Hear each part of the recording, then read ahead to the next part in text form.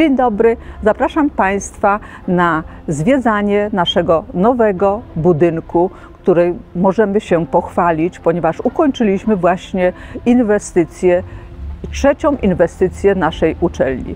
Właśnie ten nowy budynek pozwoli, aby Wyższa Szkoła Bankowa mogła mówić, że ma swój własny kampus. Zapraszam Państwa na przygodę i na zwiedzanie budynku naszej uczelni. Szanowni Państwo, zapraszam na wizytę po budynku Wyższej Szkoły Bankowej w Wrocławiu. Coś, co zrodziło się z wizji i z potrzeb, wizji oczywiście naszych pracowników i władz uczelni, a jest odpowiedzią na potrzeby studentów, ale i także pracowników. Coś, co jest na wskroś nowoczesne, przyjazne i praktyczne, w odpowiedzi na potrzeby i na atrybuty marki, którymi chcemy się kierować. Zapraszam na wizytę. I proszę Państwa, nasza pierwsza sala, sala ćwiczeniowa, Sala na wskroś nowoczesna, wyposażona w klimatyzację, w projektor multimedialny, sala, w której studenci w bardzo przyjaznych warunkach będą mogli prowadzić swoje zajęcia. Budynek został zaprojektowany w innowacyjnej technologii BIM, w której działamy już od kilkunastu lat. Cały projekt oparty został na trójwymiarowym modelu, w którym projektowaliśmy jako cały wielobranżowy zespół. Kolejna sala, laboratorium do tłumaczeń symultanicznych, gdzie studenci kierunków filologicznych będą mogli doskonalić swoje umiejętności językowe.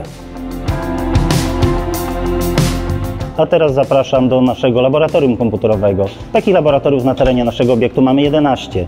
Oczywiście one są przygotowane w odpowiedzi na potrzeby rynku, aby studenci mogli doskonalić w nich swoje umiejętności informatyczne. Szanowni Państwo, kolejna sala, nasze laboratorium komputerowe z bardzo nowoczesnym sprzętem.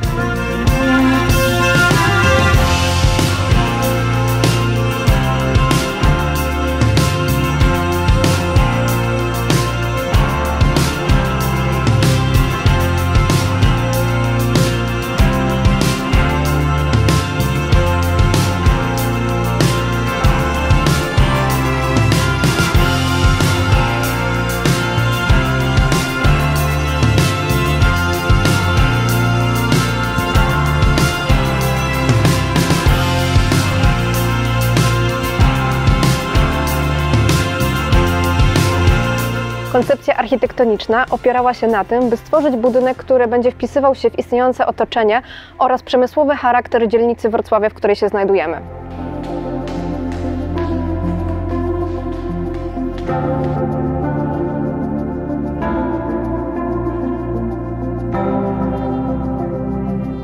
Chciałoby się powiedzieć zielono mi, ale nie, tak na poważnie to laboratorium, kolejne nasze laboratorium, tym razem laboratorium do wirtualnej rzeczywistości. To za mną, to green screen. Tutaj studenci będą doskonalić swoje umiejętności w tym zakresie.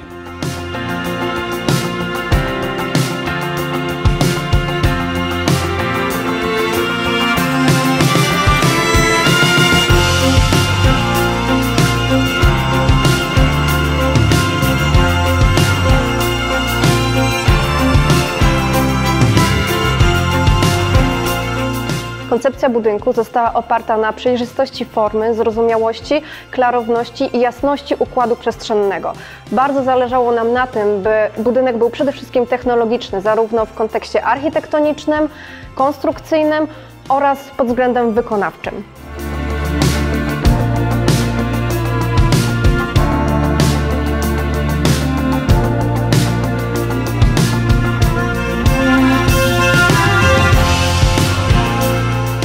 Witam w miejscu obsługi studentów. Jesteśmy akurat w dziekanacie studiów licencjackich. To miejsce, gdzie studenci uzyskają wszelką pomoc. Ale to nie jedyne miejsce. Oprócz tego dziekanat studiów magisterskich, dział obsługi finansowej studenta, czy też Centrum Języków Obcych. To wszędzie tam, gdzie studenci nasi będą docierać i gdzie zapewne spotkają się z miłą i sympatyczną obsługą.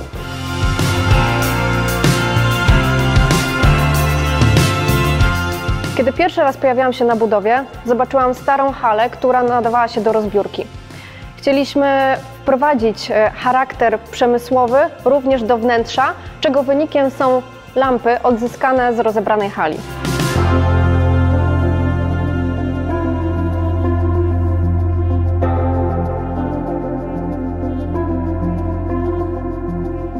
Ekonomia, zarządzanie, socjologia to przedmioty, które będą prowadzone w trakcie wykładów. Wykładów w takich oto salach wykładowych, gdzie wykładowcy z dużym zaangażowaniem będą się dzielić swoją wiedzą, swoim doświadczeniem, czegoś, co z chęcią studenci będą słuchać.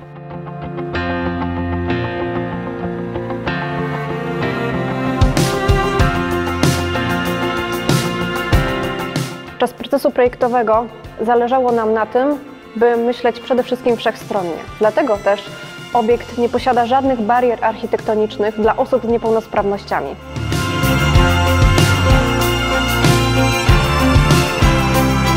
Jeżeli mówimy o salach wykładowych, w której jesteśmy, to takich sal mamy cztery, gdzie 180 studentów jednocześnie może wysłuchiwać wykładu.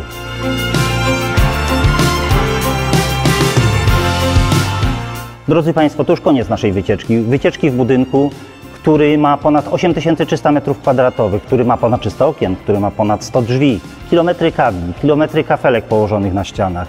To wszystko dla rzeszy około 2,5 tysiąca studentów. To dla pracowników administracyjnych, którzy będą w przyjaznych warunkach mogli tutaj świadczyć wszelkie usługi. Ale drodzy Państwo, przed nami też okno. Nie jest to okno na świat.